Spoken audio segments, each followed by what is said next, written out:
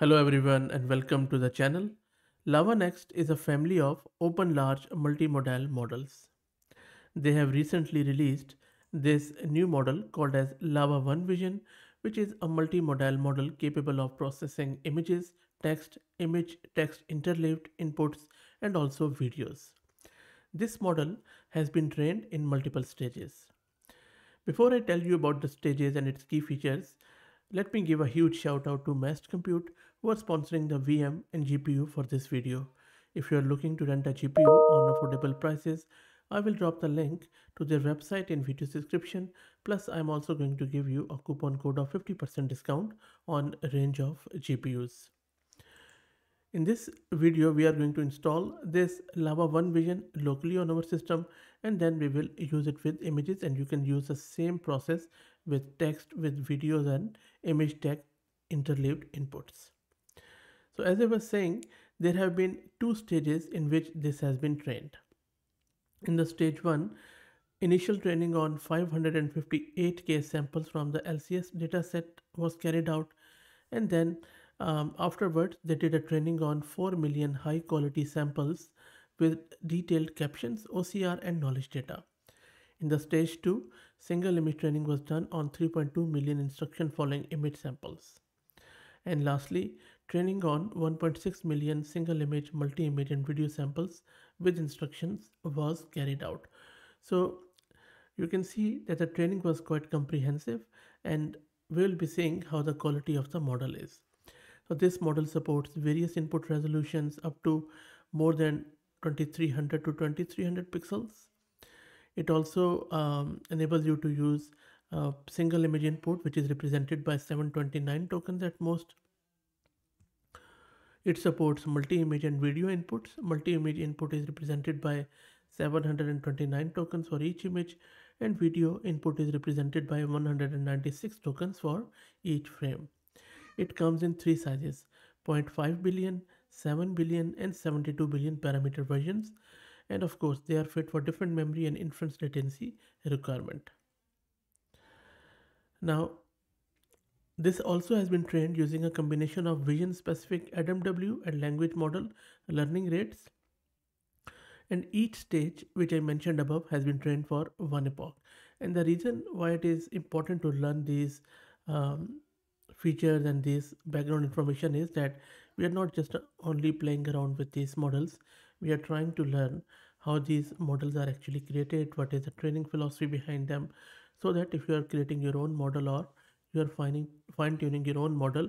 You could garner some of the lessons from them. So that is the whole idea behind it.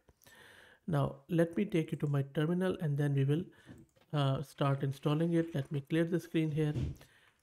And by the way I am using Ubuntu 22.04 let me quickly show you.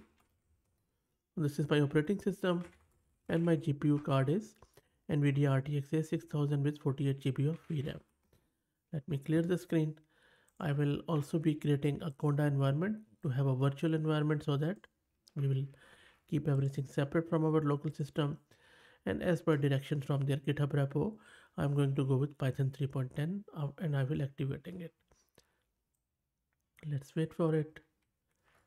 Now let's install some of the prerequisites which include uh, PyTorch and then transformers plus some other stuff. Let me clear the screen and then install some of the prerequisites. This is going to take a couple of minutes. So let's wait for it.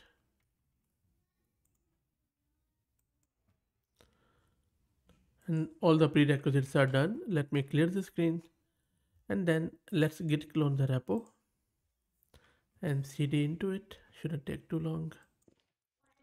And now let's install all the requirements in the repo. Let's wait for them to get installed. The requirements are done. Let me clear the screen. And then lastly, you would also need to install flash attention because it uses it. And for flash attention, first we need to install packaging and Ninja. And this takes a bit of a time. So let's wait for it.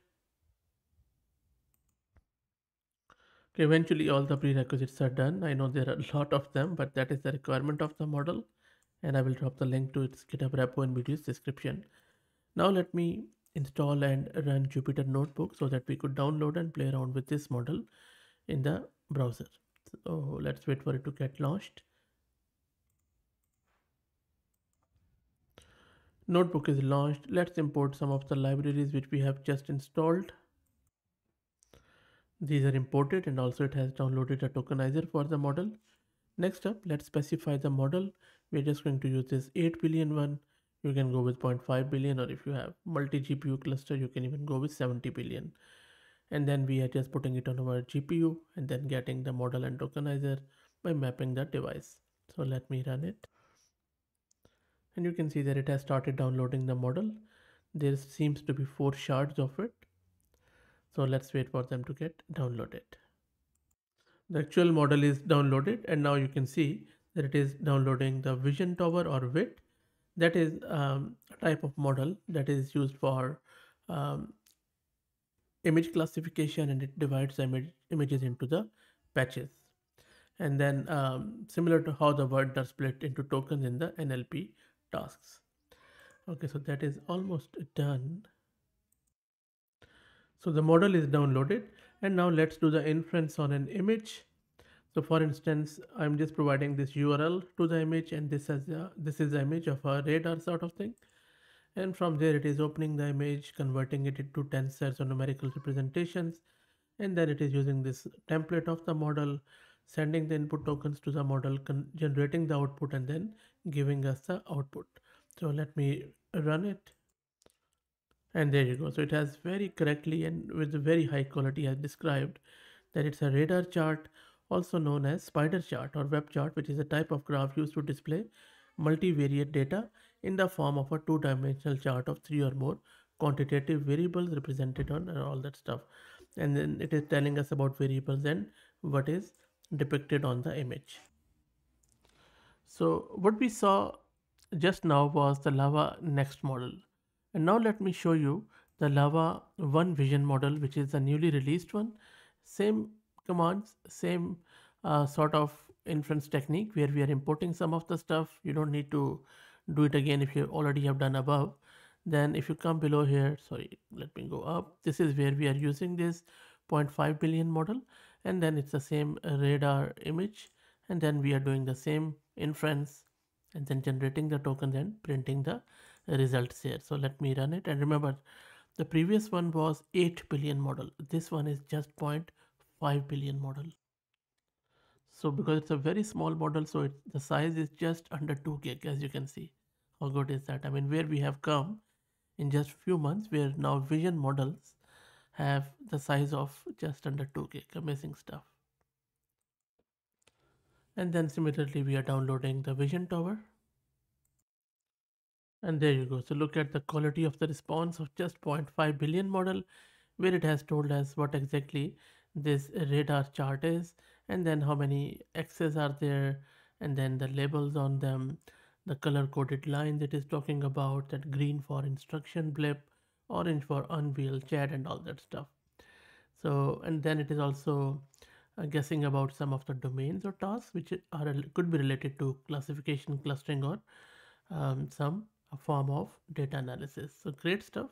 Really, really very impressive model, I must say, in such a small size. And similarly, you can also do the inference on local images. For example, in this example, which you can see on your screen, what I have done is I have just given it the path to one of the local images on my local system and then I have done an inference on it and it is showing me what is happening in that image. If I show you that image 1.png this is the image which is just a thumbnail of my previous video. Similarly let's try to see if it can decipher this image. So let's go back to our Jupyter notebook and I'm just going to give it the path to this. And remember this is again a very uh, small model let's wait for it to come back there you go it says image shows a painting of kangaroo and a bird flying in the sky during sunset. Then the sun is depicted and then it is also uh, saying that it is suggesting that this scene takes place in an open field or savanna. Great stuff. Okay let's try out um, an OCR one to see how the OCR works. So I believe I have an OCR file here. So let's try to do the OCR of this text, which includes some English words, some alphanumeric, some German French stuff. Let's go back. I already have put it OCR here and ran it. So let's see what it does says. There you go. It says Portuguese. No, it's not Portuguese. It is mix of the languages, which that is correct. And then it has it's so it's been able to do some of the OCR, but not much. So I guess for OCR this model is not suitable. But for other than that, I think it is quite a good model for given its size and stuff. Um, so it can really talk to the images. So that's it guys. I hope that you enjoyed it. Let me know what do you think. If you like the content, please consider subscribing to the channel. If you're already subscribed, please share it among your network as it helps a lot. Thanks for watching.